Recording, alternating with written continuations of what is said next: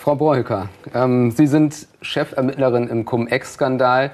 Sie beschäftigen sich damit seit 2013, ermitteln mittlerweile gegen mehr als 1700 Beschuldigte.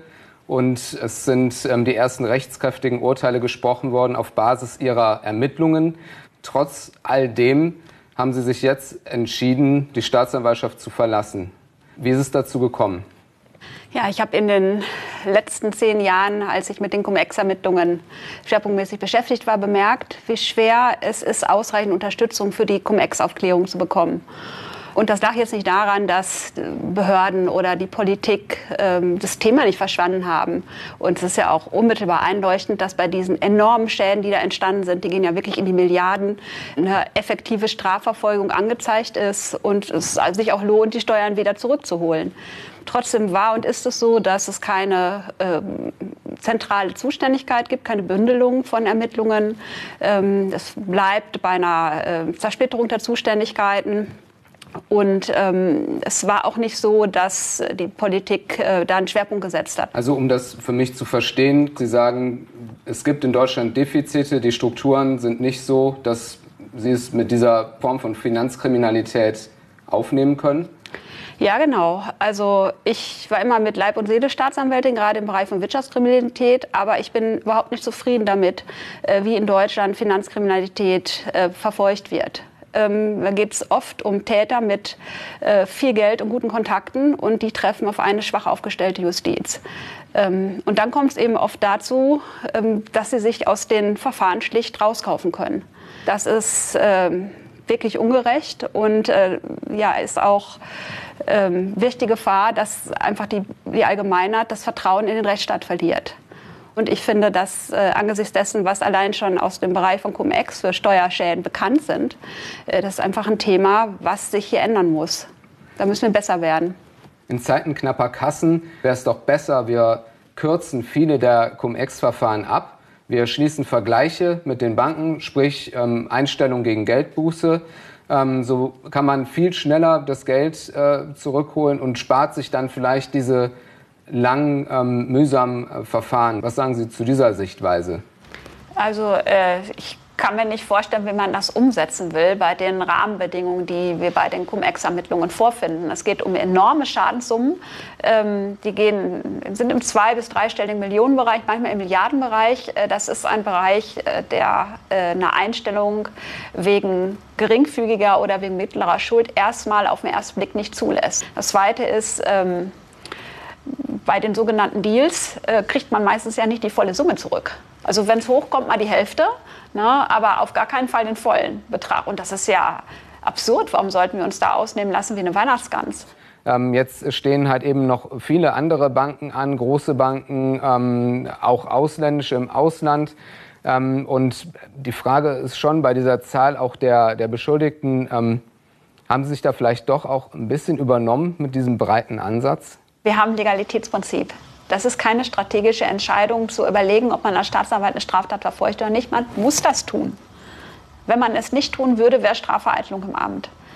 Ähm, dass wir natürlich auf so ein Geflecht gestoßen sind, das ließ sich jetzt damals ehrlich gesagt auch gar nicht absehen. Und ähm, besteht nicht jetzt die Gefahr, wenn Sie ausscheiden, dass vielleicht gerade das sich bewahrheiten könnte, dass eben Beschuldigte die Chance bekommen werden, sich eher herauszukaufen aus den Cum-Ex-Ermittlungen?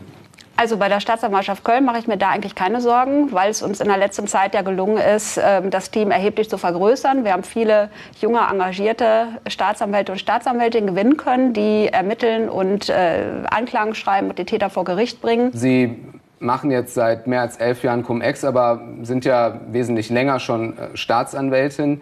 Ähm, jetzt haben Sie diesen Entschluss gefasst. Äh, wie schwer ist Ihnen das gefallen?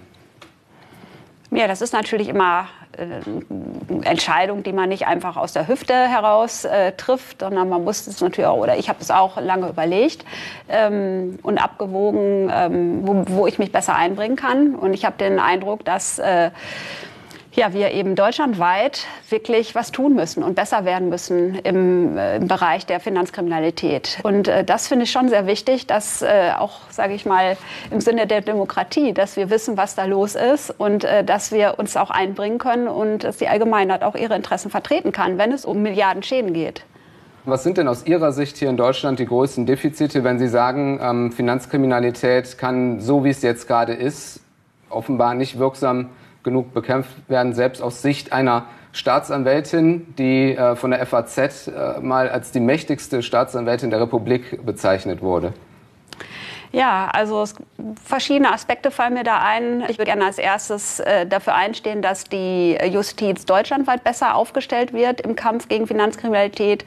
Ex-Ermittlungen liefen auch erst recht schleppend an, weil wir nicht genügend Personal hatten anfänglich, äh, Know-how fehlte, eine gute Zusammenarbeit äh, fehlte. Und äh, diese Strukturen können verbessert werden, sollten verbessert werden.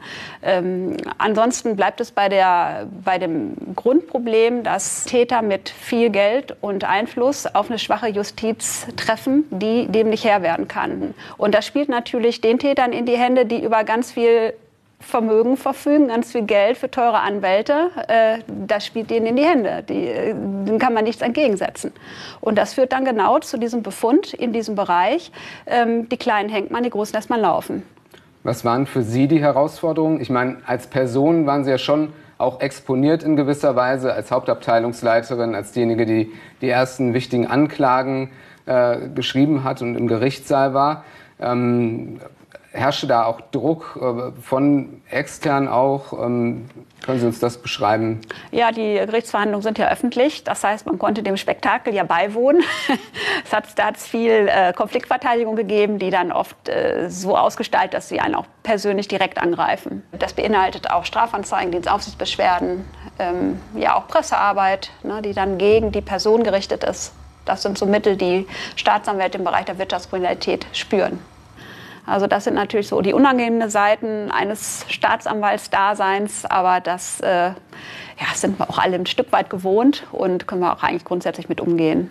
Ich kann mir aber vorstellen, gerade bei solchen konfliktreichen und aufwendigen Ermittlungen ähm, muss es auch intern stimmen. Wie sah das denn bei Ihnen im Haus aus? Wurden Sie hinreichend unterstützt aus Ihrer Sicht, um diese ähm, Ermittlungen führen zu können?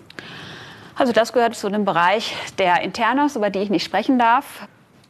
Es ist ja nicht alles sozusagen nicht öffentlich. Also im vergangenen Herbst gab es ja durchaus auch Berichterstattungen, wo es Pläne gab äh, vom NRW-Justizminister Benjamin Limbach von den Grünen, ähm, der geplant hatte, ihn noch eine weitere Hauptabteilungsleitung zur Seite zu stellen, sodass im Grunde genommen die Hauptabteilung geteilt worden wäre ähm, und äh, ja, die Hälfte der Fälle wäre dann äh, bei Ihnen verblieben, die andere Hälfte bei dem neuen angedachten Kollegen. War das damals mit Ihnen äh, eigentlich abgesprochen?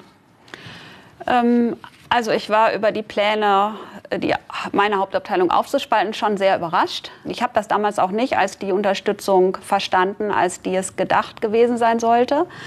Aber es hat im Nachgang ja auch äh, Gespräche gegeben, auf Ebene auch des Ministeriums. Und ähm, in diesen Gesprächen hat der Dr. Limbach sich ja ausdrücklich dazu bekannt, die Cum-Ex-Ermittlungen zu stärken und hat auch tatsächlich trotz knapper Kassen nochmal vier Stellen äh, spendiert, muss man wirklich sagen, an der Stelle. Herr Limbach hat ja damals argumentiert, ähm, dass halt diese große Aufgabe, dieses Mammutverfahren, dass das auch auf mehrere Schultern verteilt werden sollte. Das war auch so sein Gedanke. Hatte er damit einen Punkt? Also ich habe es jetzt äh, zunächst nicht als Unterstützung empfunden. Hat Ihre Entscheidung, die Staatsanwaltschaft zu verlassen, auch damit zu tun, was in der Presse zumindest auch als, als Entmachtung ähm, aufgefasst wurde?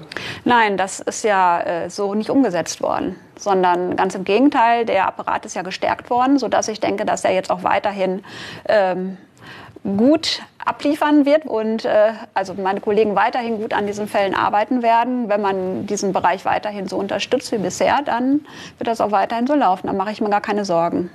Wenn ich jetzt versuchen würde, mir vorzustellen, auf einer Skala, äh, wo wir stehen ähm, bei der Aufarbeitung, äh, könnten Sie das sagen? Also von 1 bis 10, äh, was, was haben wir jetzt schon aufgeklärt und was steht da noch an? Ähm Ja, ich kann mich natürlich jetzt nur auf die Dinge beziehen, die auch öffentlich bekannt sind, weil ich über dienstliche Umstände nicht sprechen darf.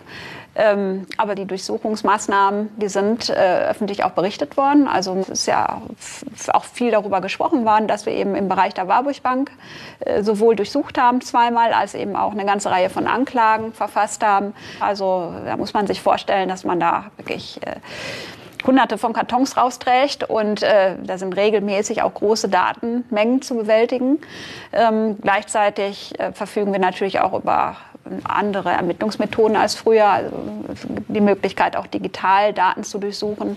Das ist eben nicht vergleichbar mit Fällen, wo es um drei Täter geht und um ein Jahr, was man betrachtet. Wir betrachten ja regelmäßig 15 Jahre und äh, Hunderte von Tätern. Also das sind sehr große Dimensionen und die brauchen einfach ihre Zeit.